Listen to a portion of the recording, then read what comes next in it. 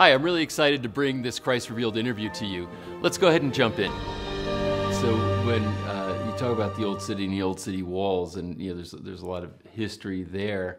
Um, when you when people are new to the city that are Christians that are coming here to to have the experience of Jerusalem, um, is there a specific order of things that you feel like they should be doing uh, to have the experience?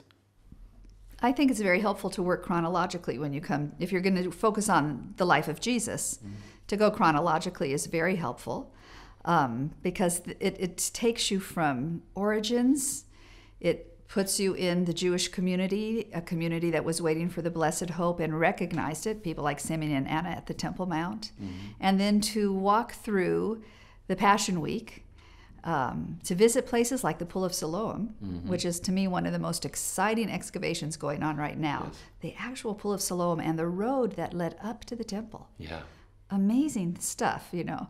You know, and, and to visit the Israel Museum, really important, and see how Second Temple period Jerusalem looked because of the model. It gives you such an overview. And the Dead Sea Scrolls. To go to the wilderness and experience John the Baptist mm-hmm. and the Essenes, and to understand that from the perspective of the New Testament, there's a prophetic move happening in that those centuries leading up to the time of Jesus that culminates with Jesus. So from the Essenes with their Dead Sea Scrolls to John the Baptist preaching the coming of the kingdom, both of them preaching a repentance from the heart and individual relationship with God. Mm-hmm. And yet one has power in miracles, the Essenes, John the Baptist is a preacher, but he's not a healer. Mm-hmm. And then in Jesus, we find someone who takes the preaching of the kingdom, the personalness of God, individual responsibility and relationship. So the preaching of that good news, coupled with power and miraculous ability, and he's willing to step outside into the public sphere and risk approaching all the marginal people all the people who are not players mm-hmm. in the mm-hmm. religious status quo women, Samaritans, you know, people who are uneducated, who are just the local people, and to talk to them about God in the language that they understand, mm. which is the language of his parables yeah. shepherds with sheep and goats, fathers with their children, farmers with their seed.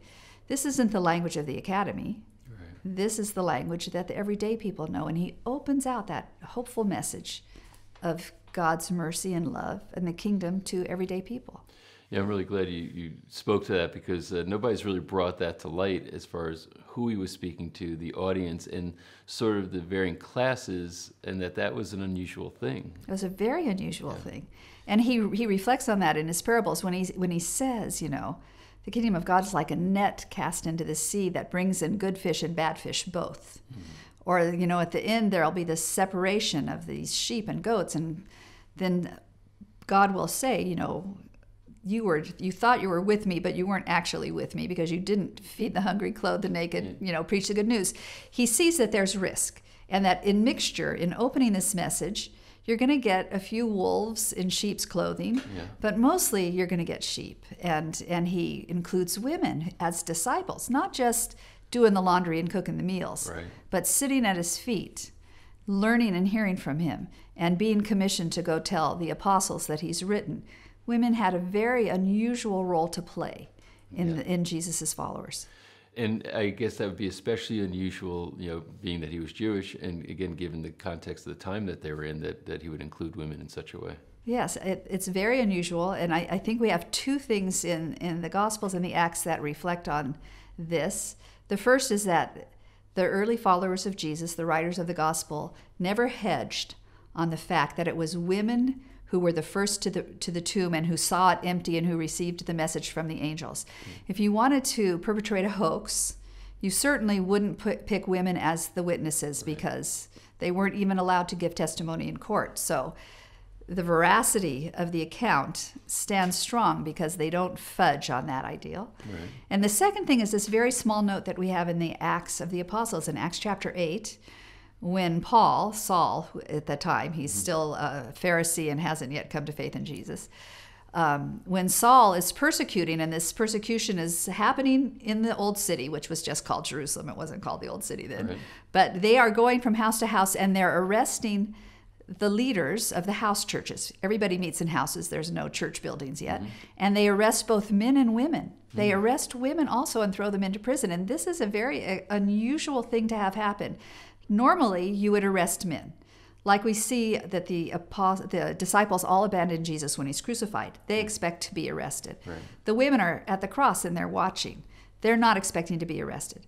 But as the movement gained momentum, women emerged in roles of leadership as well. So both men and women are arrested and thrown into prison because they both wield influence and authority in this early movement.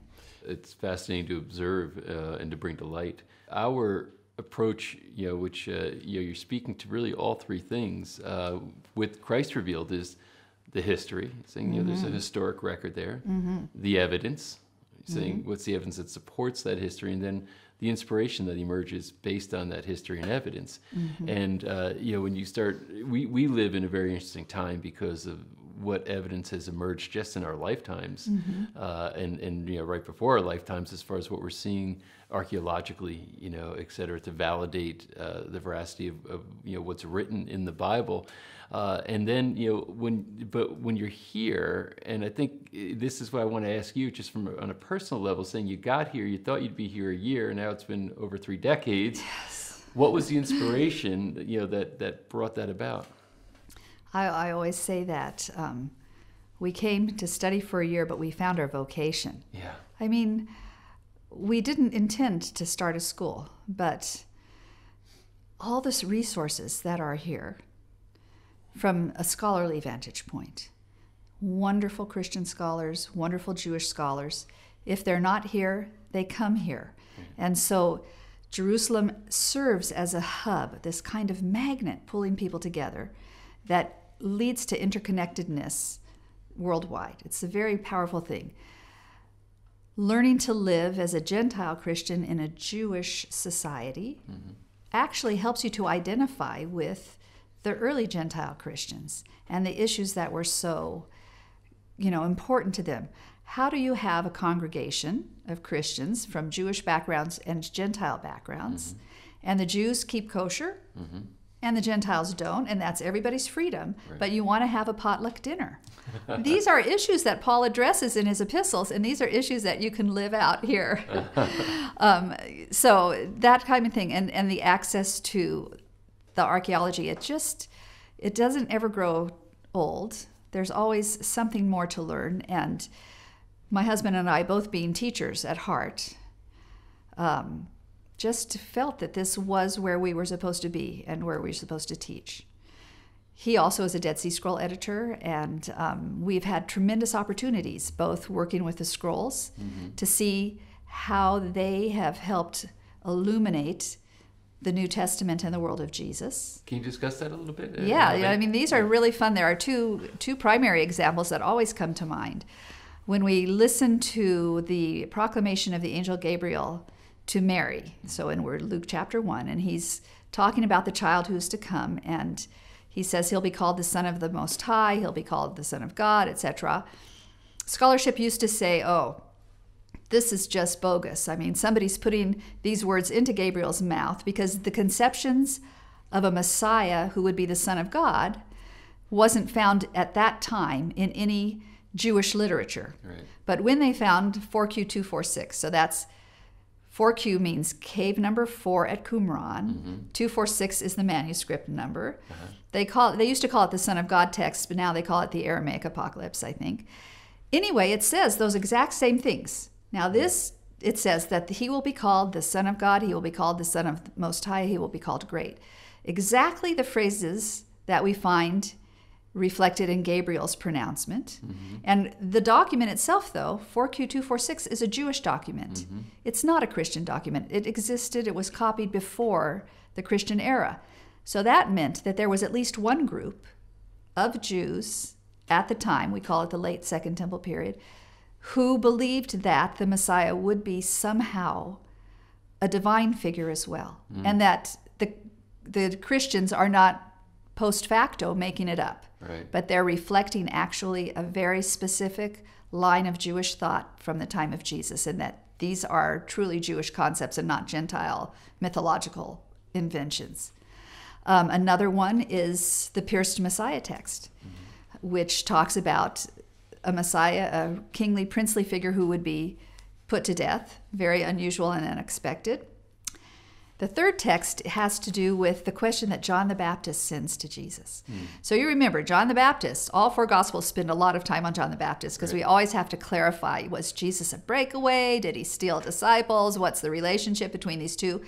John the Baptist was a much more famous prophetic preacher in the first century than Jesus was. Right. John the Baptist had a bigger following all the way from Asia Minor to Egypt. Um, he's, Josephus spends more time on John the Baptist. Mm-hmm. So, what happens? John the Baptist is thrown in prison. Herod Antipas, who's the Herod of the Galilee, is going to put him to death, and he knows he's going to die. And now he's facing an imminent death, and he sits there and he says, Did I get it wrong? Mm-hmm. What happened? I thought Jesus was the Messiah. What does John know? John knows that Jesus is up in the Galilee. Mm-hmm going from place to place, preaching good news, you know, healing people, praying for them, delivering them. But he's not doing what John and the other Jews of Jesus' day expected. They expected the Messiah to go down to Jerusalem and overthrow the Romans mm-hmm. and restore Jewish independence. So now he says, Did I get it wrong? And he sends his disciples to Jesus and he says, Ask him. So they ask, Are you the one who is to come, or should we look for another? That's the question right. of chapter, chapter 7. And so Luke says at that time, Jesus did many things. He healed the sick, he gave sight to the blind, he gave hearing to the deaf, the lame walked, and he raised the dead. Mm-hmm. Okay. Now, he raised the dead was the problem because scholarship said, okay, this is not correct. Nobody expected the Messiah to raise the dead. Mm-hmm. Jesus clearly, you know, didn't do that, or people were just creating these fictions until they found 4Q 521. Mm-hmm. K4 Qumran, manuscript number 521, Messianic Apocalypse, in which it lists the things, the very deeds that the Messiah is going to do. Same list blind see, lame walk, deaf hear, and the dead are raised. And it's exactly the expectation and the answer that Jesus gives to John the Baptist. Until 4Q 521 was found, it was thought that the only expectation for resurrection among Jews was going to be at the end of time. Right. But in the words of Jesus and in this document, we see this expectation brought forward to the present. So he says to the disciples of John the Baptist, Now go back and tell him what you have seen and blessed is he who does not take any offense in me. What does that answer mean? Hmm. He is saying to John, Remember what the prophetic words say about the Messiah, what Isaiah says about the day of the Lord, what he says about the coming of God's goodness. It's not political, hmm. it has to do with Jesus' own vision and mission statement to care for those who are in need, to bring the good news to those who are oppressed, to set at liberty the captives to clothe the naked, feed the hungry, heal people's diseases. That is the sign of the Messiah, not overthrowing the Romans. Thanks so much for joining us for this interview, for taking this Christ revealed journey with us. Remember, if you haven't already, subscribe.